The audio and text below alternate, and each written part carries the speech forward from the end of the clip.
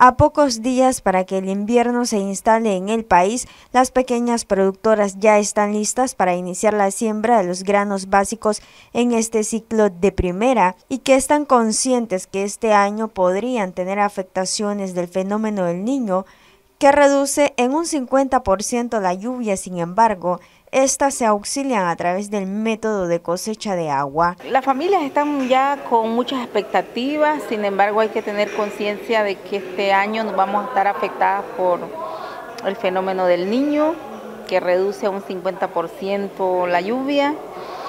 Eh, para las pequeñas productoras es un poco ventajoso porque tienen algunos métodos también de cosecha de agua, eh, diferentes métodos productivos, sobre todo agroecológicos, que les permite producir aunque haya poca lluvia. Nuestro país es, eminentemente agrícola y el 80% de la producción de lo que comemos es producido por las manos de las pequeñas productoras y los pequeños productores, de tal manera porque pues, hay muchas expectativas.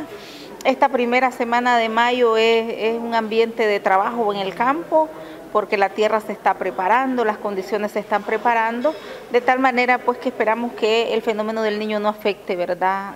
Eh, tanto como lo mencionan, ¿verdad? Año con año, de que el fenómeno del niño pues reduce eminentemente eh, la lluvia y que genera problemas en la producción, pero esperamos que este año las cosas sean diferentes. Agrega que también trabajan en la preparación de bioinsumos para reducir la cantidad de plagas. El hecho de elaborar sus propios bioinsumos, ¿no?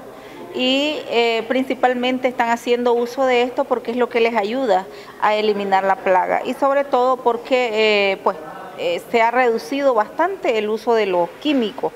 Entonces, pues la elaboración de abonos orgánicos, la elaboración de bioinsumos, eso ayuda mucho también, ¿verdad?, a que este, se reduzca, digamos, la cantidad de plagas. La principal producción de las compañeras, las pequeñas productoras, son granos básicos. Noticias 12, Darlene Telles.